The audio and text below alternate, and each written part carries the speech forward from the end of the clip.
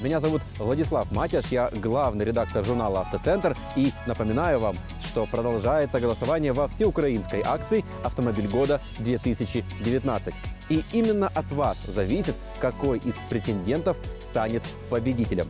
А я же хочу вам представить одного из претендентов на звание «Автомобиль года». И это кроссовер Renault Duster.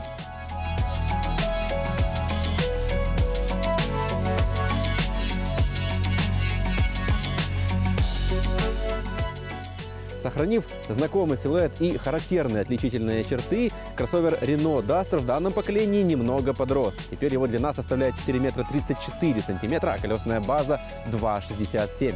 Но отличие кроется в деталях. Взгляните хотя бы на переднюю часть автомобиля. Новые фары, новая радиаторная решетка, иной бампер. Да и в целом если сравнивать с предшественником, то в новом Renault Duster не осталось ни единой схожей внешней панели. И даже по передним крыльям это заметно, потому что у нас есть вот такие вот отличительные вставки. Ну, а что касается кормы, то здесь внимание сразу привлекают совершенно иные фонари. И они же стали предметом довольно жарких дебатов. Кому-то нравится больше, кому-то меньше. Но, согласитесь, так или иначе, в новом поколении Renault Duster стал выглядеть симпатичнее.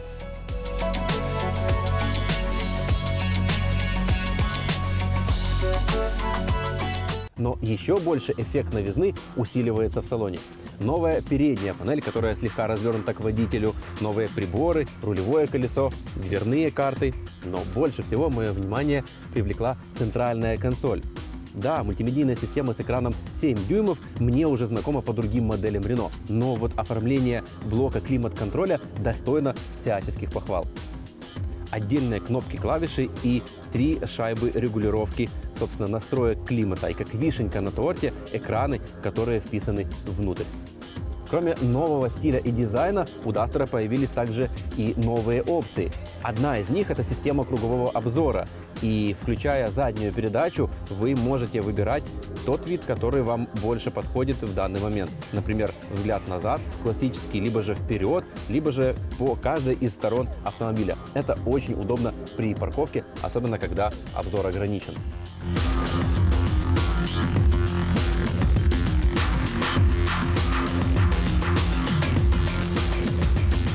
На нашем рынке Renault Duster предлагается с двумя силовыми агрегатами.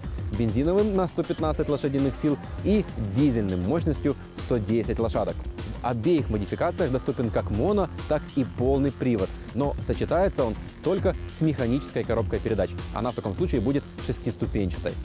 Если же вам нужна автоматическая коробка, то тогда следует выбрать дизельную версию. Ну а в качестве автомата здесь шестиступенчатый преселективный робот.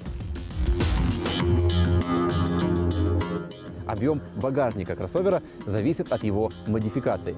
У полноприводной он вмещает 414 литров, а у моноприводной больше – 478. Но в любом случае неоспоримым преимуществом является наличие полноразмерной запаски под фальшполом.